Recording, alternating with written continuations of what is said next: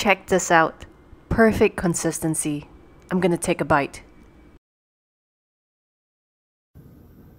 In today's video, I'm to be sharing with you how to make a gluten-free vegan pumpkin pie. Before we start, if you're interested in following me on my journey towards a happier, healthier, and freer life, consider subscribing to my channel and you'll be notified on upcoming videos. Also, as some of you may know, I've started a collection of cold weather scarves, especially designed to comfort those with sensitive skin. So if you find scarves scratchy, check out freendkat.com. Let's make pumpkin pie.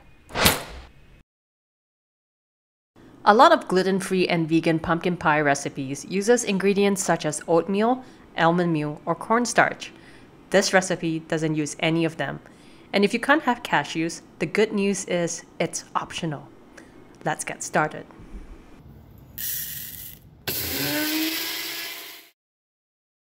Here's 12 grams of ground flax seeds, also known as flax meal. Add 30 ml of water, mix, and set aside for 10 minutes. In a large bowl, mix 180 grams of cassava flour, 15 grams of arrowroot starch, and a quarter teaspoon salt. I'm using Himalayan salt here, but table salt would work as well.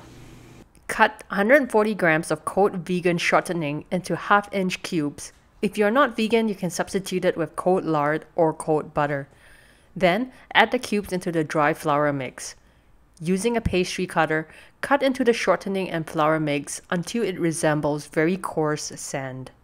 Drizzle 1 tablespoon of white distilled vinegar.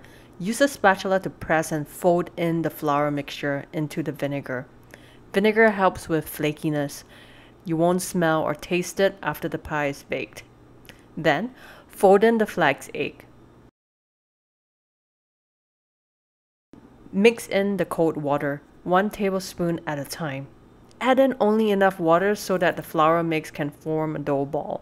I used about 5 tablespoons, but this will vary depending on the brand of cassava flour you use.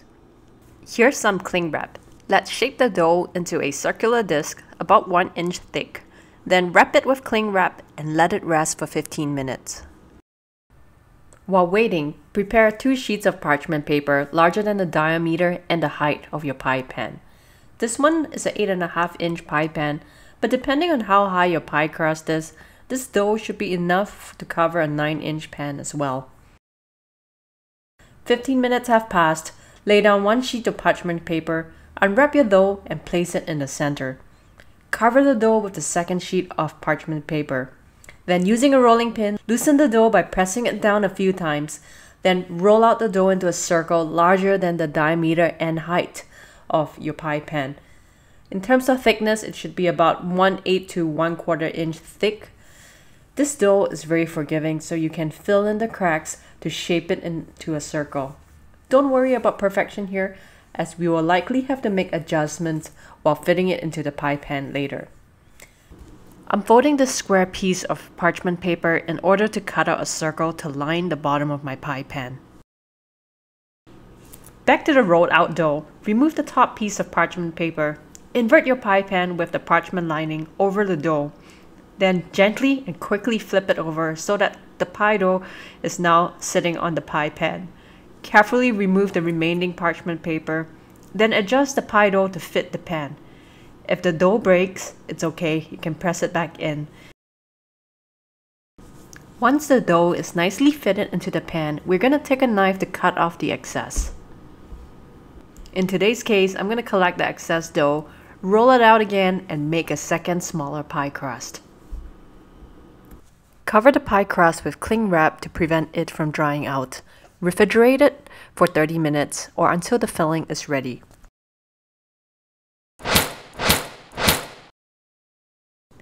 We're going to bake a pumpkin pie pumpkin, sometimes known as a sugar pumpkin. If you prefer, you can skip this step and substitute it with unsweetened canned pumpkin pie puree, the kind that only has one ingredient, pumpkin. This pumpkin has been rinsed and pat dry. Cut the stem off, then cut it into half. Remove the seeds, sprinkle with salt, and then place it skin side up on a parchment paper lined baking tray. Bake it in the preheated 400 Fahrenheit oven for 30 minutes or until you can easily poke a toothpick through it.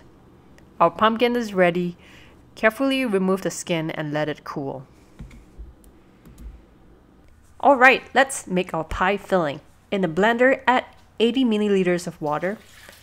Note, we're going to add in cashews later. If you don't want to use cashews in this recipe to make it nut-free, substitute this water with 80 milliliters of unsweetened canned coconut milk.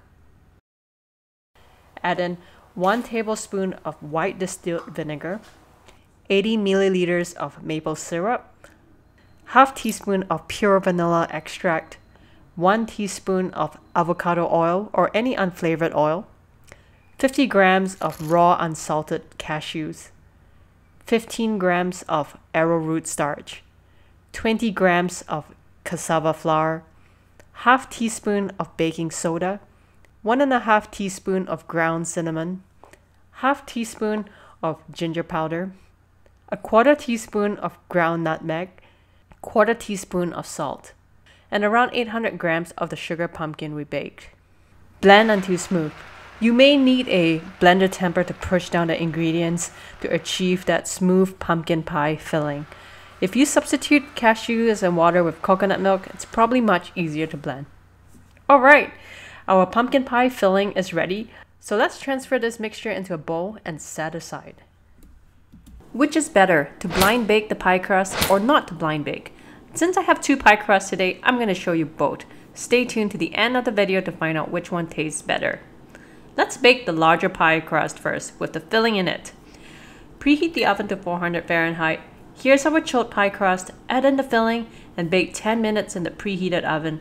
Then reduce the temperature to 350 Fahrenheit and continue to bake for another 35 minutes or until the pie is golden and set. Now, for the smaller pie, we're going to blind bake it. Preheat the oven to 425 Fahrenheit once the oven is preheated, poke some holes into the chilled pie crust, then bake it for 10 minutes. We want the pie crust to be as chilled as possible before baking. That way the shortening doesn't melt when it's in the oven. Here's what the pie crust looked like after blind baking for 10 minutes. Add in the filling and continue to bake at 375 Fahrenheit for another 30 minutes. The two pies are baked but they're not ready yet. We've got to let the pies cool down first, then set in the fridge overnight or at least for 4 hours. Okay, 12 hours have passed. Our pies are ready. I'm to try them and see which one tastes the best. This is the pie without blind baking. This is the blind baked pie. Both pies taste really good. The filling is perfect, not overly sweet and not mushy at all. I would say the main difference in the two pies is the pie that wasn't blind baked, the bottom crust has a mouthfeel of a dense cake, whereas the blind baked pie, the crust at the bottom is crispier. Personally, I prefer the blind bake version, but try out this recipe and let me know in the comments below how it goes and which version you prefer. So this is how I make gluten-free vegan pumpkin pie. The full printable recipe can be found on my website at sensitiveskinlifestyle.com. Just search gluten-free vegan pumpkin pie. The link is in the description box below. Thanks again for watching and I'll see you again soon.